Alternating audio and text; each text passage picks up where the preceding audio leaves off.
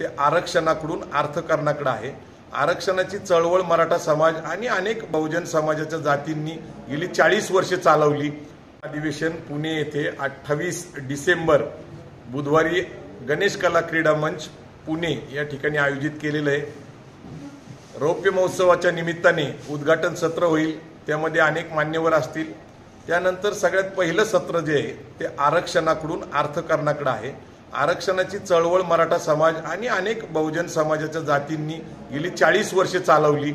परंतु जे काही मिळायचंय कायद्याच्या दृष्टिकोनातनं ते मिळालेलं आहे आणि घटनेच्या काही अडचणी आहेत म्हणून आरक्षणाकडून आता अर्थकारणाकडे जायला पाहिजे अशी आम्ही भूमिका घेतलेली. त्याचं कारण नव्वदला मंडल कमिशन आलं. तिथपासून आजपर्यंत आरक्षणावरच चळवळी चालल्या. पण एक्क्याण्णवला आलेलं जागतिकीकरण खाजगीकरण उदारीकरण चळवळींचं त्याच्याकडे दुर्लक्ष झाल्यामुळं जगात उपलब्ध असलेल्या नोकरी उद्योग व्यवसाय शिक्षणाच्या संधीकडे दुर्लक्ष झाले. म्हणून आम्ही जाणीवपूर्वक आर- अर्थकारणाकडं हा विषय नेण्याचं ठरवलेलं आहे. दुसरं सत्र जे आहे ते आमचं महत्वाचं आहे.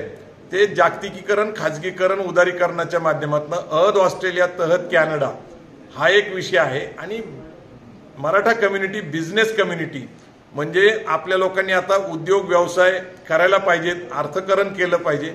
एकूण संभाजी ब्रिगेडचा जर विचार केला तर आक्रमक संघटना आहे. इतिहासावर अनेक वेळा आम्ही विषय का काम केलेलं आहे. अंधश्रद्धा या विषयावर पण काम केलेलं आहे.